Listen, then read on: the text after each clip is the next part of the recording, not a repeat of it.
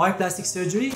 Well, simply because it's the coolest specialty. Hello friends, if you're new here, my name is Malke Asaad, a plastic surgery resident in the US, and in this video, I'm gonna try to convince you why plastic surgery is the coolest specialty and why you should pursue it as a career choice. Before we get started, make sure to check out the courses and services we provide for medical students and residency applicants on our website, thematchguy.com. Before we start talking about the multiple reasons why plastic surgery is the coolest specialty, I want to give you an idea about what plastic surgery includes. Because whenever you mention plastic surgery to someone, the first thing that comes to their mind is cosmetic surgery. However, plastic surgery is much broader than that and it includes a variety of subspecialty under plastic surgery. So what does the field of plastic surgery include? Plastic surgery could be divided into four main subcategories or subspecialties. The first is hand.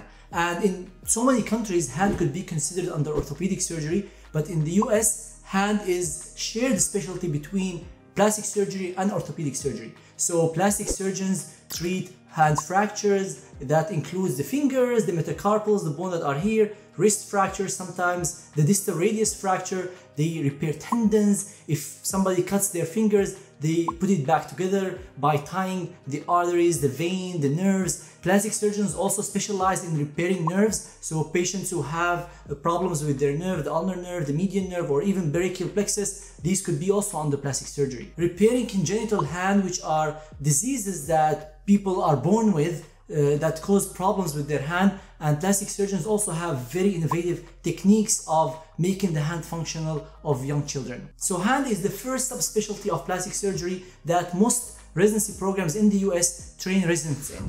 The second subspecialty of plastic surgery is craniofacial and craniofacial includes the adult craniofacial and pediatric craniofacial. Pediatric craniofacial relates to children. So if a children is born with a cleft lip, or cleft palate or they have a problem with the way the uh, bones of the skull are attached together. We call this uh, syndrome craniosynostosis plastic surgeons uh, intervene and fix the lip fix the palate try to remodel the cranial vault to lead to good function and good outcomes. Adult craniofacial surgery mainly includes trauma to the face. So if a patient has a mandibular fracture or orbital fracture, maxillar fracture, plastic surgeons intervene and do surgery to fix these problems. And one of the coolest surgeries for adult and pediatric craniofacial surgeries, in my opinion, is the orthognathic surgery. So the surgery in which you advance the jaw, the lower uh, jaw, the mandible, or you advance the maxilla because someone has a sunken maxilla. These are amazing surgeries and have significant outcomes on the patients.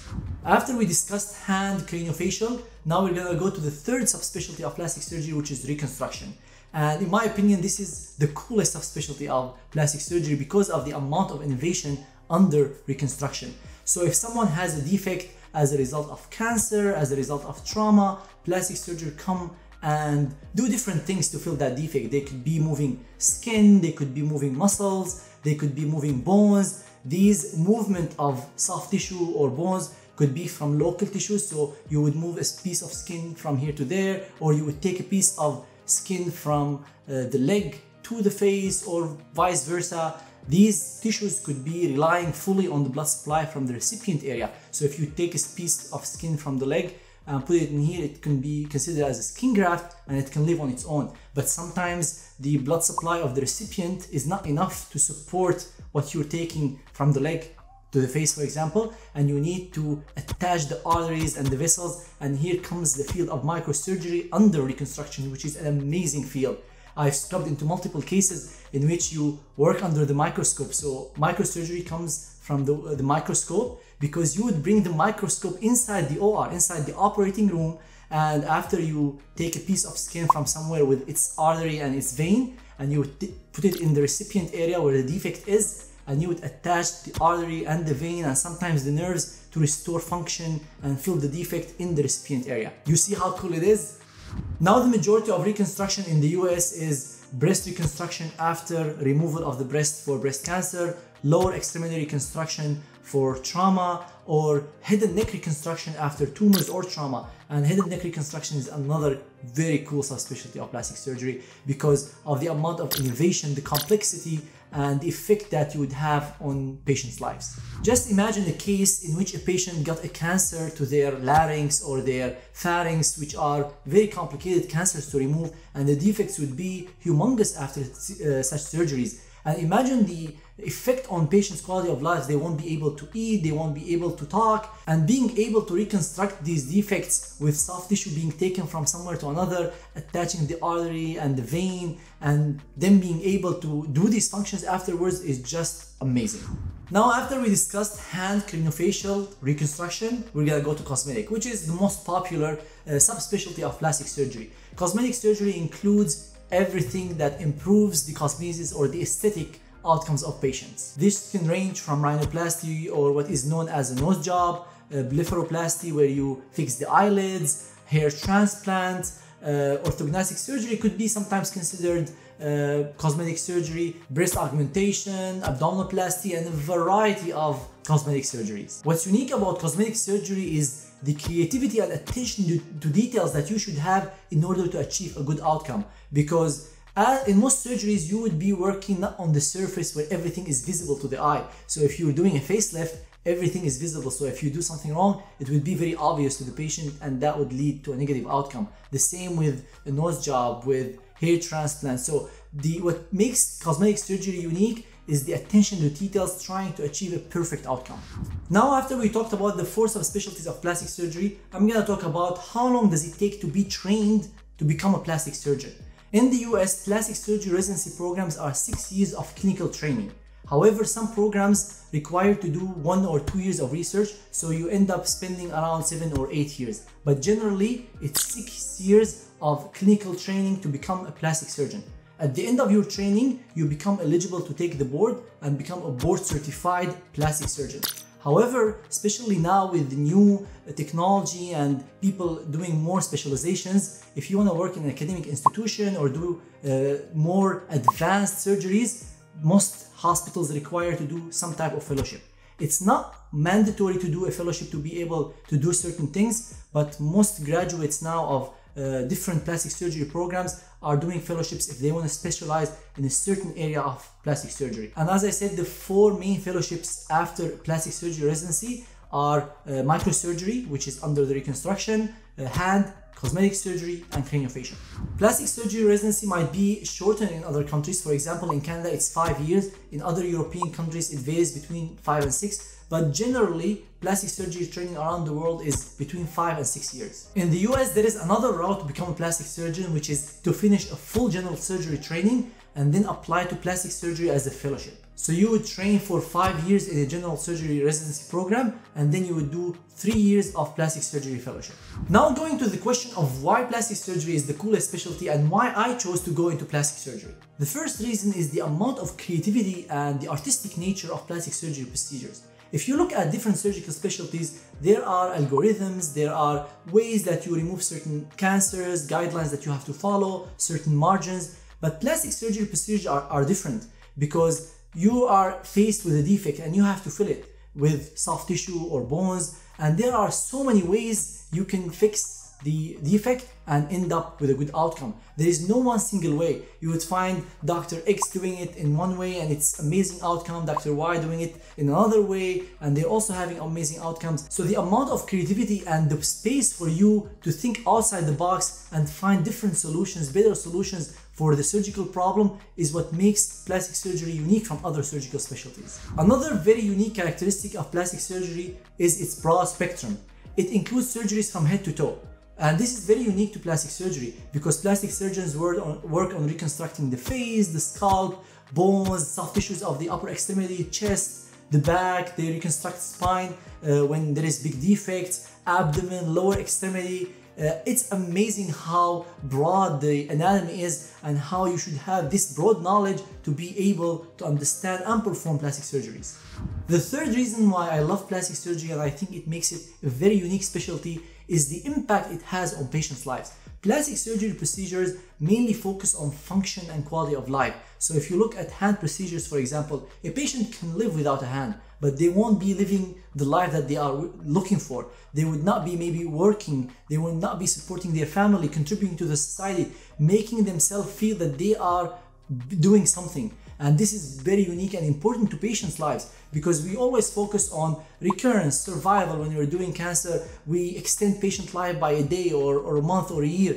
But how did the patient uh, live during this life? Did they have a good quality of life? Were they functional? And this is where plastic surgery comes. You remove a defect, but we fill the defect for you so you can go and continue your life afterwards. If you have an, a hand amputation, we put it back so you can be able to work again. You can play back the piano. The effect that plastic surgeries have on patients is phenomenal and the once you see what patients do after these plastic surgeries you will understand why plastic surgery is an extremely unique specialty.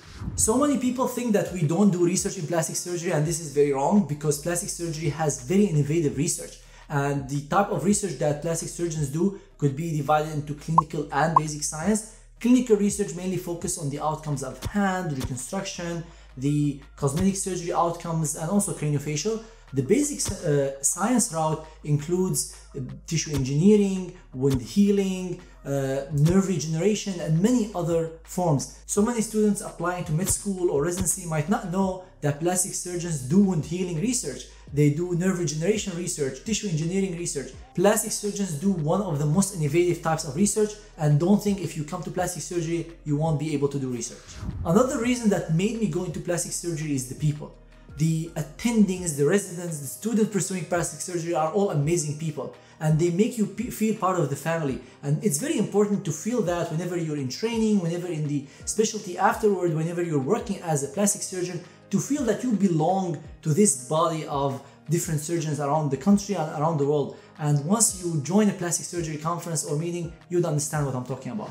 Lifestyle of plastic surgeons is definitely a plus because compared to other specialties, I would say plastic surgeons have a reasonably good lifestyle with good salaries. Because if you look at the average salary of a plastic surgeon in the US, it's around $400,000, but this is before tax. So after you remove the tax, you might end up with something around $250,000. But the salary of plastic surgeons vary a lot, vary based on the subspecialty you're working in and based on whether you're working in an academic institution or private practice. Definitely cosmetic surgeons make the most out of all the subspecialties and those in private practice make much more money than in academic institutions. So some plastic surgeons might make uh, 250 before tax or 300, 400 based on where they work and some plastic surgeons make 2 or 3 or even 10 million a year.